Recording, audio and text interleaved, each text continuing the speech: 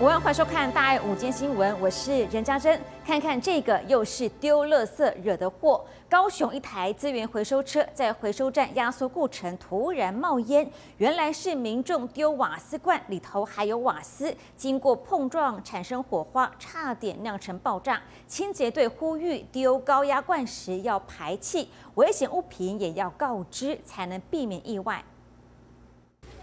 资源回收车把回收物卸下，准备进行分类，却看到阵阵白烟窜出，清洁人员赶紧洒水降温。在压缩的过程中，它可能就是因为被挤压，然后有火花，就会产生了燃烧跟闷烧的状况。罪魁祸首原来是没有用完的瓦斯罐，因为碰撞产生火花。其实像是杀虫剂、发胶罐、喷漆都是易燃物品，回收前一定要将残气排出。是没有去的才会回收啊，不能丢垃圾车啊。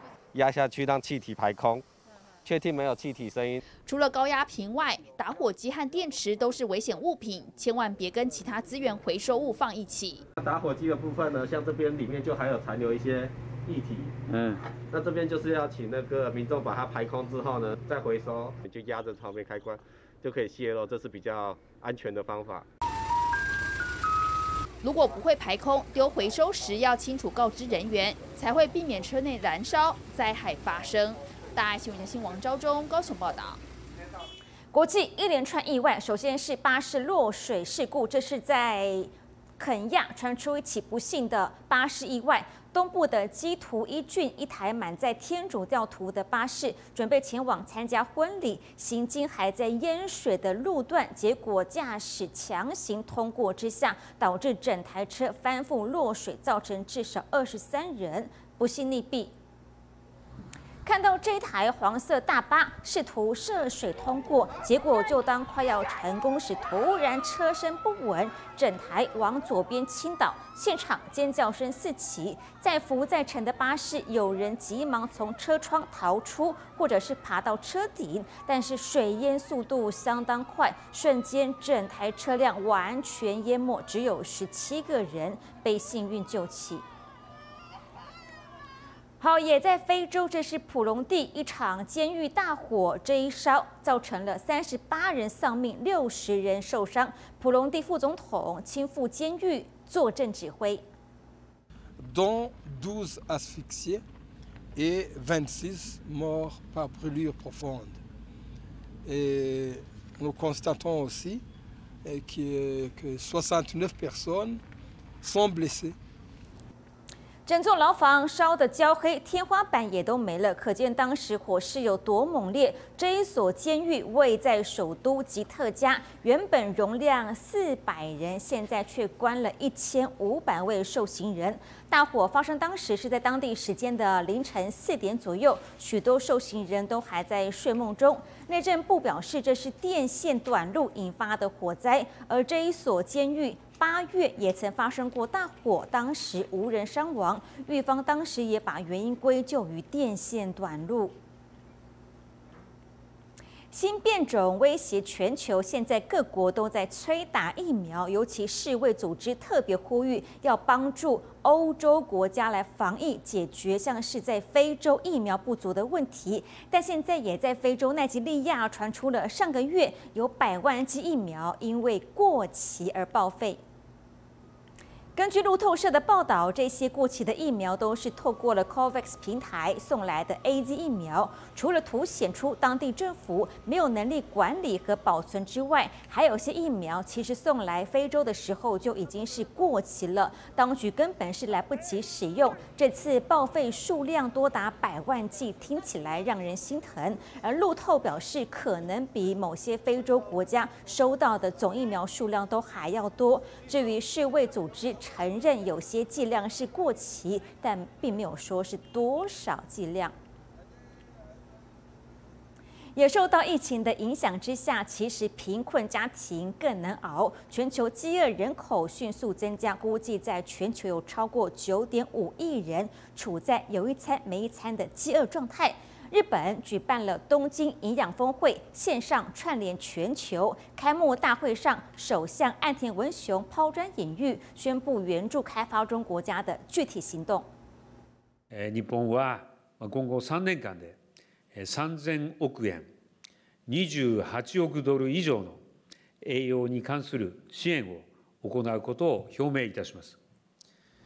岸田文雄表示，除了援助资金之外，也希望能够以科学技术来建立一个可持续的粮食系统，稳定供应粮食。而根据联合国的报告指出，全球饥饿人口超过了九亿人，来到九点五七亿人，这是台湾总人口数的四十二倍之多。而每分钟有十一个人因为饥饿而死亡。东京营养峰会两天会议将会会诊成果，提供各国政府与企业协助解决饥饿问题的对策。至于美俄领袖这一场视讯会议是非拍不可，美国总统拜登与俄罗斯总统普京针对乌克兰的主权展开会谈。透过荧幕看到了，包括了拜登和普廷亲切的打招呼。拜登开场先友好寒暄，说很遗憾上一次的 G20 没能见到面，希望下次两人能够亲自碰面。而针对西方国家所担忧的俄罗斯可能入境乌克兰，白宫声明指出，拜登强调支持乌克兰的主权独立，呼吁降低紧张情势，回归外交。两人会谈大约是两个小时左右。好，看看俄罗斯，这是七十二年来最大的降雪，让街头成了一片银白色世界。放眼望去，莫斯科红场、克里姆林宫，一整片银白世界。Замечательная погода. Пусть так и будет всю зиму. Снежно, тепло и уютно. 凛冬到来，战斗民族发挥本色，踩街购物、遛狗、遛小孩，生活一切照旧。不过这场雪其实并不寻常。1949 года.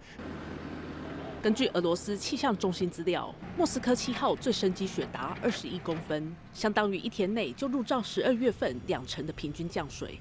景色美归美，吓坏人的画面也不少，意外频传，交通大打劫。当局出动上万辆铲雪车，七万人力，规模也是史上之最。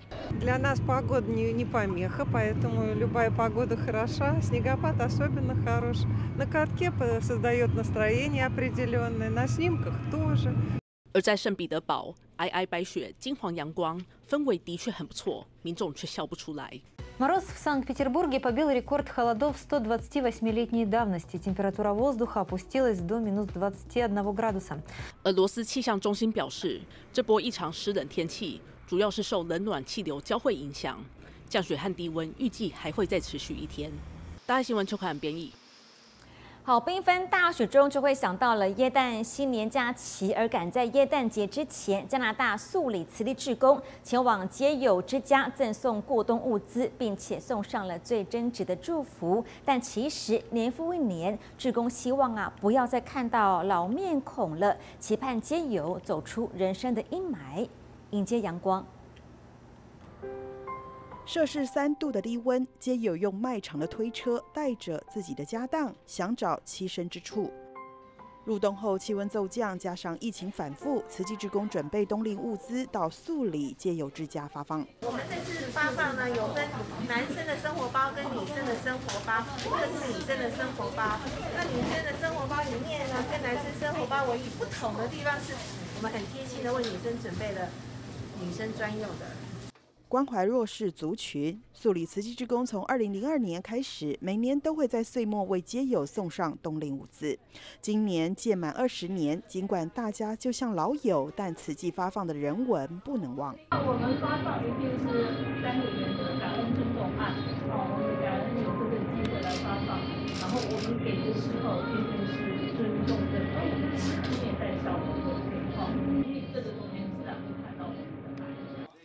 三十五份过冬必备的御寒物资，暖了大家的身。志工在亲自送上静思语和关怀，让每个人都感受到爱的温度。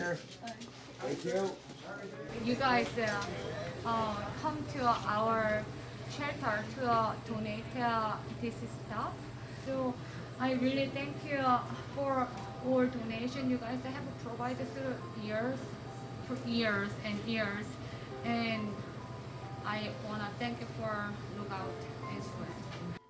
耶诞佳节在即，志工捎来的温暖，让这一群站处人生低谷的街友，能有更多正向能量，迎接属于他们的阳光。大爱新闻，真善美志工吴群芳、尤德坤，加拿大报道。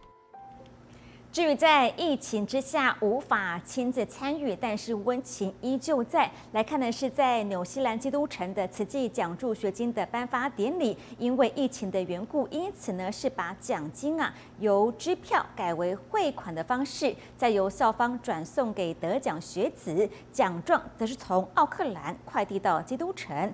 今年，当地一位志工勇于承担，协助两所学校圆满了颁奖典礼。这位在奥克兰，志工则是在金丝堂线上同步祝福。南岛的基督城，北岛的奥克兰，科技连线，祝福也串联。欢迎来到我们的学校，呃，谢谢你们的爱，谢谢你们的慷慨，感谢你们今天的光临。奖助学金会到学校指定账号，奖状快递送达。林伍德高中与詹姆士小学校方和家长都相当用心筹备颁奖典礼。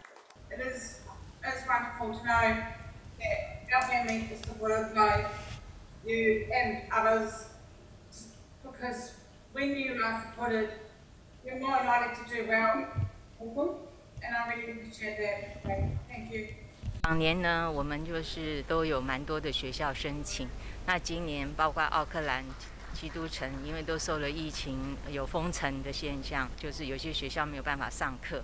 所以呢，对这个奖助学金的申请的这个也比较，就是说减少了很多。那我们一起来祈祷，希望明年疫情能够赶快消弭，然后让我们能帮助更多的孩子。疫情尚未消弭。基督城当地志工张议员代表慈济纽西兰分会协助典礼圆满。大爱新闻真善美职工张丽珍、谢景志纽西兰报道。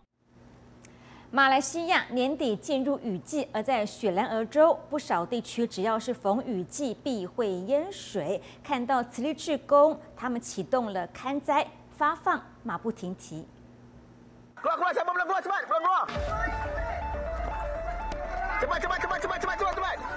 大雨来得快又急，那一夜特别漫长。马来西亚进入雨季，位在低洼的安邦地区，车子、房子都泡在水里。Masjid cakap sampai mana air? Sampai mana? Oh lebih kurang empat kaki lebih ah. Lapan setengah air sudah sudah naik tinggi. So habis peralatan rumah habis rosak. Habis semua. Habis habis. Dua, saya punya dua lori. Barang buang.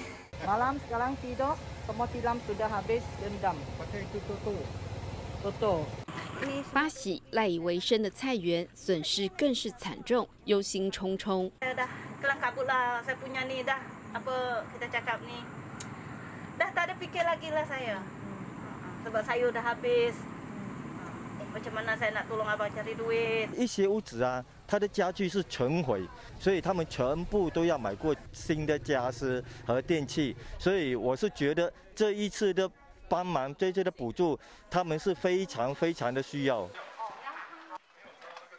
雪龙慈济志工在看灾后立刻造册发放，送来必要的物资和祝福金。Tim yang besar, tim yang kita formal. Kami sangat hargai lah kehadiran.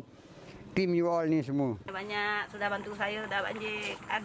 Dah bantu buat dengan cucu-cucu saya. Saya pun tak cakap, tak tahu cakap lah.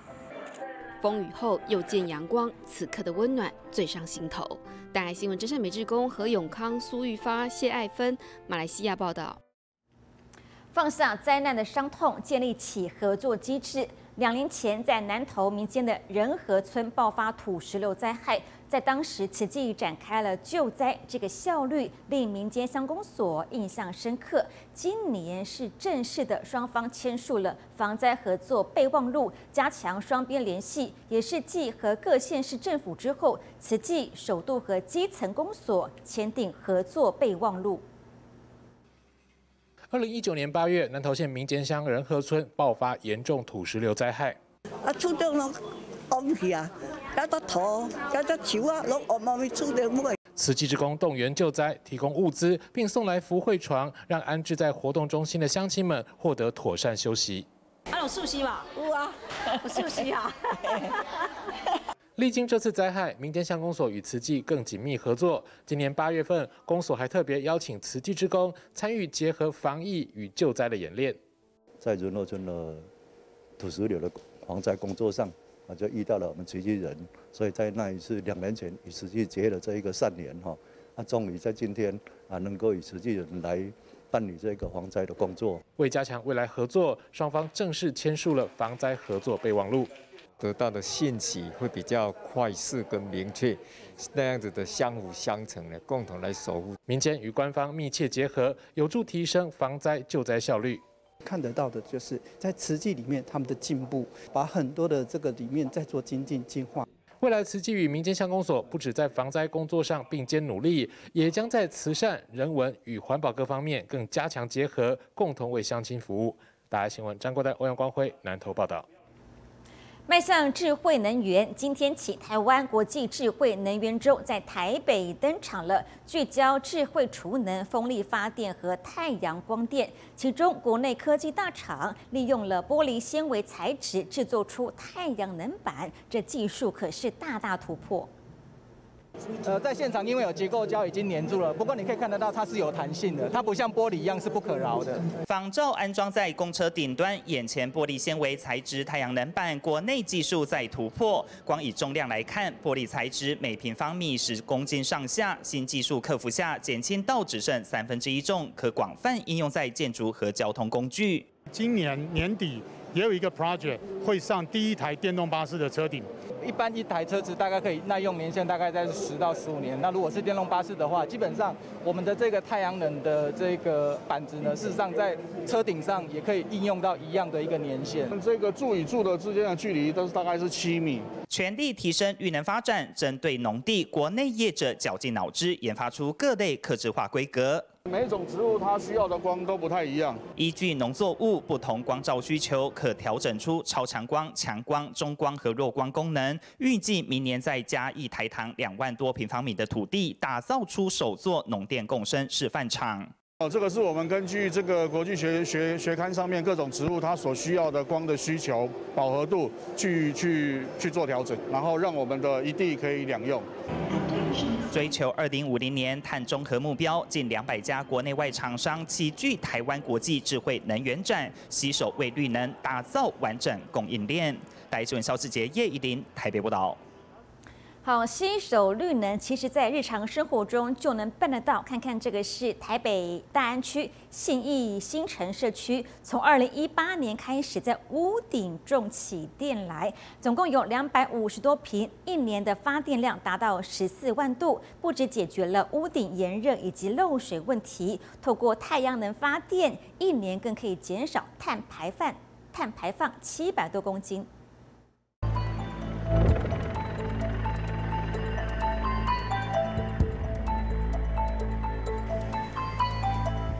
夏季高温真的让人受不了。今年七月，台北侧站更曾飙破三十九点七度，创下新高。不少社区干脆在屋顶加装太阳能板，吸收热能。开了冷气还是觉得热，那么现在这个装了这个太阳能板以后啊，哎，我们温度自然降低了，那个大概大了这样讲讲三度到五度的样子。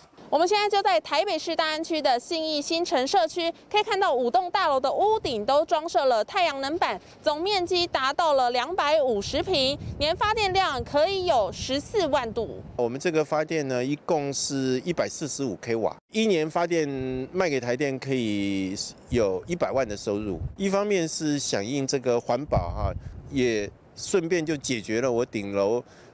漏水的问题，一年也可以节省到好几十万。台电它是需要交流电，所以它要经过这个变流器。日照强度发电数据一目了然，透过 App 还能监看社区内十座电厂数据。到十二月八号已经发电一万四千八百四十九度，比去年还要高。太阳多，它的发电量就会增加，所以我们从这个上面也可以看得出来，这个呃日后是这种。呃，气候异常是会越来越严重。屋顶太阳能发电不止减碳，更透过管线回收雨水再利用，社区绿建筑成为气候变迁下一大趋势。戴新闻高林邓英中台北报道。好，近在眼前的天气呢？现在冬季干冷，皮肤容易干痒，尤其是异位性皮肤炎的患者，痒到受不了，可能会抓破流血。而现在有新药问世了，这是一种全新的非类固醇药膏，对轻中度的患者有很好的效果。但面对皮肤的干痒问题，乳液该怎么挑才会保湿？医师也有建议。天气明显变化，或者是环境变糟的时候，我的全身就会发痒。那那个痒是不能控制，就是我会一直想要抓它，然后甚至抓到破皮流血。二十九岁工程师受异位性皮肤炎困扰多年，这边痒那边也痒，大大影响工作专注力，皮肤脱屑更招来异样眼光。常用的类固醇外用药膏也无法解决问题。类固醇就是我我擦久会产生一些例如胃痉挛的副作用，一直连续性的打嗝。我会做好保湿。然后调整我的作息，让我免疫力不要这么容易受到影响。这样，类固醇药膏原本是为了解决局部瘙痒，避免复发，但因为副作用让病患避而远之。现在有新药，不含类固醇，也能抑制瘙痒发炎。擦多就容易皮肤萎缩啊，长痘痘啊，出现微血管扩张，导致身体内部荷尔蒙的荷尔蒙的不平衡。新一代的。非类固醇的药膏，那它是使用很单纯的一个化学抑制的一个机转，那就比较不会造成这些皮肤的风险。尤其冬天干冷，一般民众也容易出现皮肤干痒。医师建议乳液当然是越油越保湿，不过干性肌可以选择质地较厚的乳霜，容易流汗的人可以选用清透型的乳液，但大原则都是不含香精和防腐剂。有些人容易流汗，流汗的话，如果你用太油的乳霜，它会把汗闷在里面。所以可能更造成湿疹，但你还是要依照你的皮肤的一些那个干燥性来做调整，最好还是自己试试看。医师建议擦乳液最好的时机是一洗完澡就要马上擦，不足肌肤冲热水被带走的水分，减少皲裂干痒又反复搔抓的恶性循环。大新闻全山李建宽台北报道。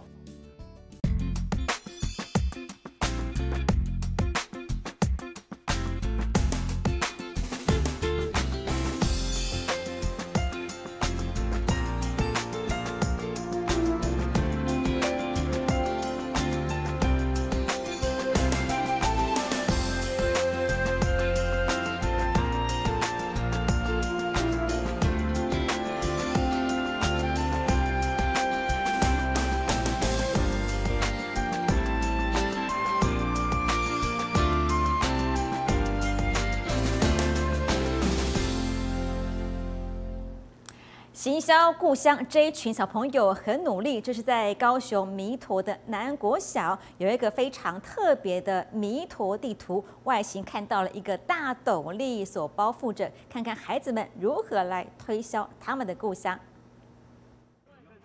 手机扫描秀出介绍弥陀的影片，屋脊向上扬起，尾端分叉的燕尾十分优美。影片中的解说员就是自己。很高兴，因为因为我可以介绍吴家古厝。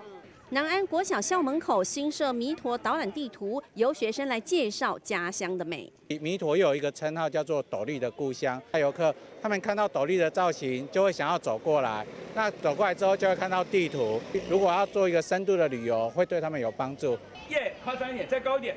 耶，来高一点。耶。学生得进行说学逗唱的训练，还得练习英文导览。前往各个景点录制影片时还下雨。In the year of the Republic of China，雨下很大，要趁没下雨或雨下小一点的时候赶快录。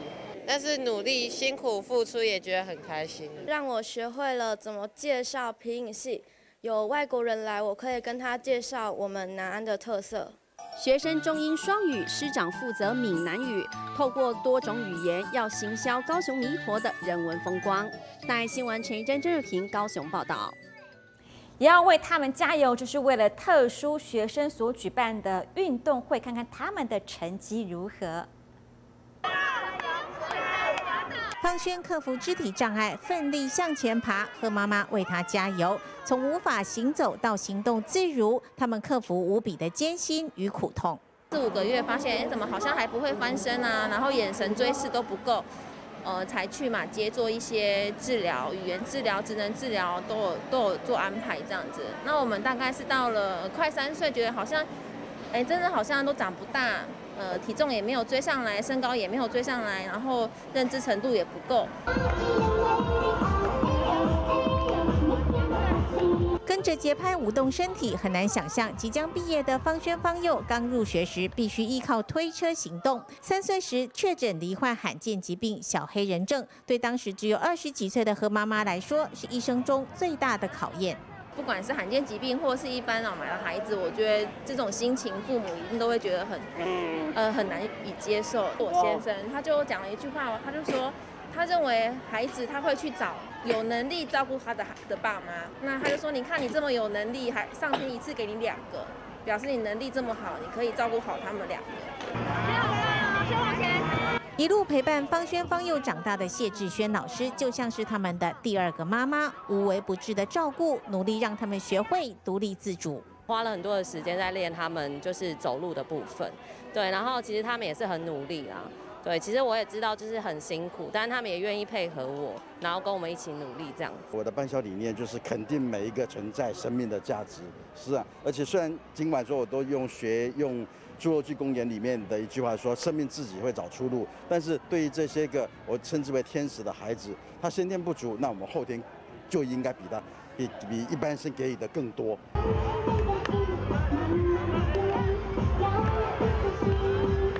我小二年级的弟弟陪伴方轩方又跳舞，由于小黑人症不是遗传疾病，和妈妈勇敢的又怀了第四胎。要不要榨果汁？要榨果汁。你说榨果汁？蘑菇鱼，烤饼干。什么呀？耶，好棒！什么都不要怕，因为有妈妈在。只要不放弃，人生就有各种可能。和妈妈说，全家人会一起勇敢的面对未来的困境。大爱新闻蔡佩莹、简元吉台北报道。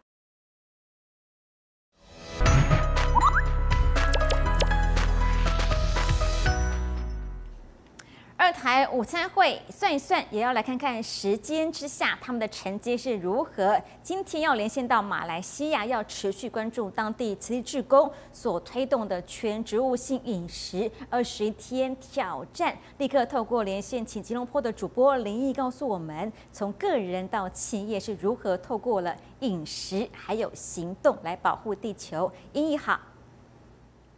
家长好，全球观众朋友大家好，我是英一，这里是马来西亚吉隆坡现场。新冠肺炎疫情持续未平息，除了接种疫苗预防重症，马来西亚的民众也开始注重个人健康，增强免疫力，延续健康挑战二十一的热潮。马来西亚东海岸城市关丹的全植物性饮食运动也掀开序幕。一手掌锅，一手翻炒，这是餐厅老板第一次准备全植物性餐盒。是我们那定是怕这样子吗？没有把握吗？因为都没有试过。过后是因为一直有煮啊，是煮是吃是煮是吃这样子。啊，摸一下摸一下，觉得呃应该还好吧。就是我们的碳水化合物就放这个格子，然后这个长格子呢啊就是这个餐盒的长格子啊，我们的两种的蔬菜类啊啊都是摆放在这里。因为餐厅的员工们都是第一次接受这样的一个的健康的摆盘方式，所以我们就呃就做了一个这样的一个 list 哦。就这样让他们知道，呃，我们的那个 sparrow 蔬果蔬果应该要放在哪一个格子。这个健康餐你要偶像化妆，帮他化妆化的美美吗？健康饮食风潮越来越受到重视，在彭亨关丹，慈济职工在社区推动健康挑战二十一天活动。现在很多人不知道，病从口入，饮食才是啊根源哈。如果我们吃对的食物，才可以减少吃药。带来的一些副作用。它的帮助就是那个胆固醇跟那个血的油有下，下有些下下很多。啊，关于血压也是有一点帮助。提倡天然以及少油少盐饮食，从民众外送订单可以看到受欢迎程度。我觉得很好啊，因为外面毕竟要找这样的健康餐真是很难啊。所以我觉得这个这样的第四活动站如果有下一次的话，其实我们也是很 OK 啊。喜梁广成先生哦，他获得了最佳体重改善奖哈。去拿那个 doctor 的 report 的时候，我发现到，诶，每一样都在下降了，健康很大的改善。有研究显示，二十一天可以改变一个人的习惯，期许透过参与全植物性饮食，培养参与者良好饮食习惯之余，也改善健康。大爱新闻真善美之工廖敏瑜，马来西亚报道。照顾自己的健康，也要重视环境的健康。镜头回到吉隆坡，有不少私人企业开始关注全球气候问题。除了响应政府推动的绿色政策外，这些企业也在公司内提倡节能减碳的工作方案。慈济雪龙分会的职工受邀向旗下的职员分享环保知识，希望能提高员工们的环境环保意识，将清净在源头的概念落实在企业里。Tissue paper. Ah, and then the white paper definitely can be recycled lah. This one, especially this one, this one cannot. 白纸、塑料餐盒、包装纸等没有经过分类就丢进办公室垃圾桶。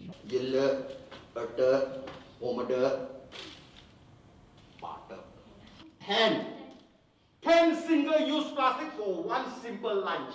为了提高环保意识，企业邀请慈济雪农分会职工到场分享。Ideally, every single staff, if they knew about this information, it will better support these activities in our office because they will gain a better understanding and they will be uh, performing it from the heart. 我们期待啊、这一个这样的一个呃企业啊环保推动这样的一分享，它呢是会是一个啊、第一个这样的种子，好、它的这样的一个这样的落实呢，希望呢能够带来呢是另外一个这样的呃其他企业的一个善的影响力。You don't buy, you don't spend, and you don't use more resources. I wasn't expected the training to be so.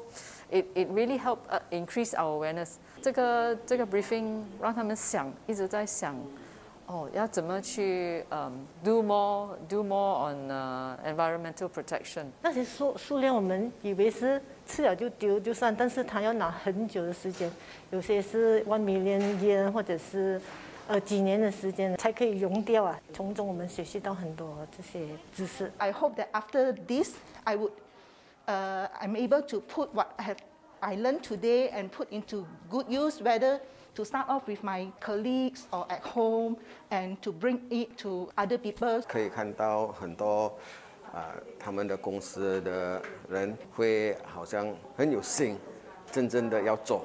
期许带动企业环保风气，为地球永续尽一份力。大爱新闻真善美之工张志亮，马来西亚报道。联合国气候变迁峰会 COP 二十六上个月在英国格拉斯哥刚刚落幕。虽然会上各国领袖达成了停止砍伐森林、减少甲烷排放的协议，但阻缓全球暖化，每一位地球公民责无旁贷。转换成植物性饮食，减少垃圾的产生，能为我们的蓝色星球带来更好的明天。好的，现在把时间交还给家珍。好，蓝色星球的未来都在你我的一个选择。像现在在绿色潮流之下，其实蛮多人会选择我的下一台车要选的是电动车。像我本身在买机车的时候，骑机车嘛，也会考虑好久，我是要买电动车呢，还是买一般的就好？的确会闪过很多的念头，但是往往我们可能所忽略是背后的问题，或者是没有思考到的。例如在为车子充电的能源在发电过程中，是不是也会排碳呢？这一点呢、国家政府也要把它正视这个问题才行。也想再请问英译了，马来西亚所制定的能源政策又是如何？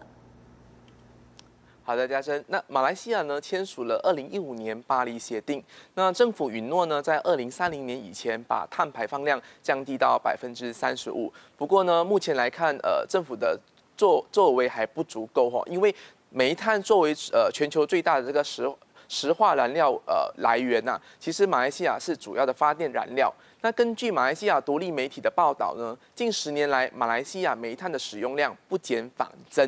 可是，呃，政府也是有努力过的，就是在二零零九年的时候呢，启动了国家再生能源政策和行动计划，那致力呢在国家推动这个再生能源的使用。那预计呢，在二零三二零三二年，让这个再生能源占全国电力的结构百分之三十一的比例。那最后呢，政府在零呃近零排碳排放的这个计划上呢，呃，要等到明年二零二二年才会有详细的公布。好的，家珍。好，的确，每一国政府都在努力朝绿色能源发展。毕竟你你要的是绿色能源，又要它便宜，这无法是并行的。因此，势必得有所牺牲，也有所行动才行。谢谢英译的连线报道。继续是我们的专题，救救毛小孩。这个画面先考考你，如果说是一只残缺的动物，它可能少了三只脚，你还会领养它、认养它吗？这也是一个大灾问。因为呢，其实毛小孩大家都疼爱，但如果是面对的是一只残缺的毛小孩，你要如何来照顾它？它走路就是因为它会，就是骨头会敲地板，所以其实它不会自己就不会去走那边。地板铺了软垫，猫砂盆没有高度，这都是为了十只残疾猫所打造的生活空间。因为这样子的猫要去找适当的环境跟适当的一个场所去照顾，其实还是有一定的难度，因为大部分还是都会关笼。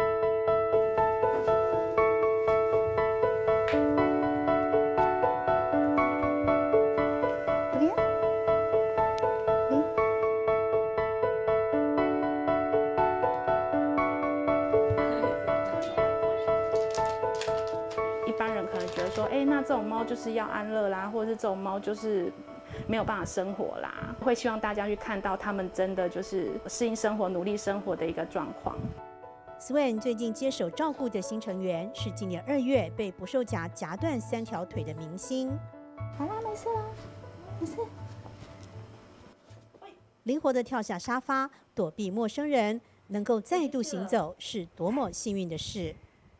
他平常的话，就是大概我们都会抱着在那边，就是他会撒娇。他刚来的时候是什么样的情况？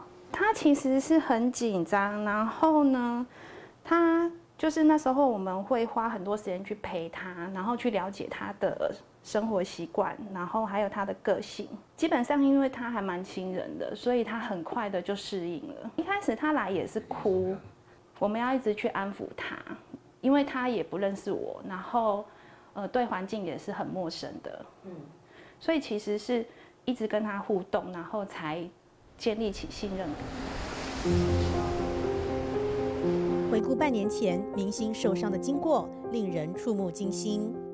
通报地点在前面那个菜园旁边那鸽舍那里的地上，那时候我们就赶到现场，他就是在这边地上，他的线结是从里面延伸被绑死的状态。延伸出来的，你说捕兽夹？对，捕兽夹那时候的照片，就是从那边这样跳下去，然后这样走，跳下那个山崖下去之后，从这边这样，然后我们就是在这边慢慢走。他有从水沟硬跳硬跳，现在呢往上跳，就是有点翻爬，一边滚一边爬往这边走。确定他往这边跑之后，我就开始从那边做搜寻。我刚好听到他的二楼有那种扣扣扣扣声音，后来。过十分钟又开始扣扣扣扣，那我就觉得不对劲。我一个一个直觉是应该是他。为了保命，医生决定锯掉明星的三条腿，硬是从鬼门关前把他救了回来。历经半年的休养，明星终于恢复健康，可以送养了。但是当初放捕兽夹伤害他的人到底是谁？最难是收整，你根本就不知道谁放，因为孩子可能被中夹之后，他是拖着夹。拖着那痛苦的状态，他从 A 地跑到 B 地，那被 B 地接到通知之后，然后我们再赶到现场救他，可能到 C 地了，对吧？那谁放的？不知道。这个问题凸显的是动保警察人力严重不足。新北市哈一百年的时候，其实我们动保警察就已经成立了，啊，总共有三十二个动保警察，也就是说，如果有动保案件哈，那个民众通报，不管派出所，就是请派出所哈。啊，跟动保处联合一起去去做那个查案哈啊，然后侦办这样。今天确实在激增成本上太高。如果真的要我们讲说要杜绝这样的一个现象跟行为，光靠政府可能不一定足够，那就是变成是我们这些动保团体，呃，要有足够的经费，比如说派人巡山。问题来了，刚刚讲的都很容易，说我们增加更多人力，那预算呢？经费呢？有时候。救到一个程度，你会很很感动，也会很感慨，就是一直救，真的救不完。如果可以从生命教育开始，由政府机关，然后开立了一些课程，由学校开始，然后家庭教育的施行是完整的。这个世界不是人类的，应该是所有的生命是共同去相处。曾经被人类残忍的对待，明星如今却愿意再度相信人类。那么我们人类呢？好，尊重生命怎么会和企鹅抢路呢？在非法新建道路之下，导致摧毁他们的巢穴，三百多个小生命因此而死亡。放眼望去，整片海滩上都是麦哲伦企鹅，探头探脑的模样惹人喜爱。不过近期却出现严重生态危机。Y lamentablemente tenemos que compartir una noticia que que es muy desagradable porque alguien construyó un camino atravesando un parte de esta colonia y eliminando, destruyendo todos los nidos que estaban a su paso. 阿根廷通博角国家保护区面积达两百一十公顷，是南美洲最富生机的生态区之一，也是麦哲伦企鹅最主要的栖息地。鼎盛时期，这里曾超过一百万只。不过，当地居民因为违法修建道路，除了干扰企鹅前往大海，更造成约三百只小企鹅死亡。一百四十多个巢穴遭到摧毁。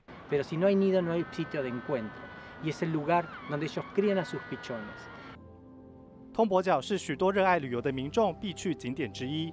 这代表企鹅与海鸟栖地受到破坏，影响的不仅是当地生态系，国内经济也将受到冲击。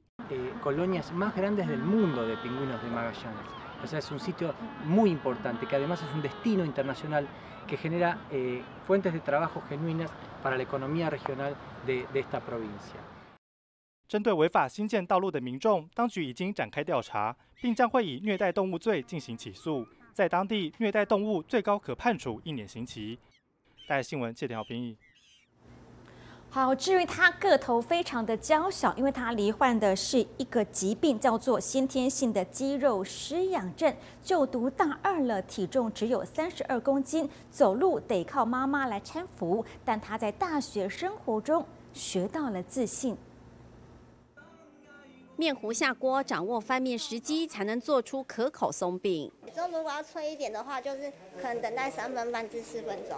做做这些东西就比较有成就感。做点心让就读大二的张玲莹充满成就感，因为她罹患先天性肌肉失养症，全身肌肉少且挛缩，只有三十二公斤的她，上学爬楼梯都需要母亲搀扶。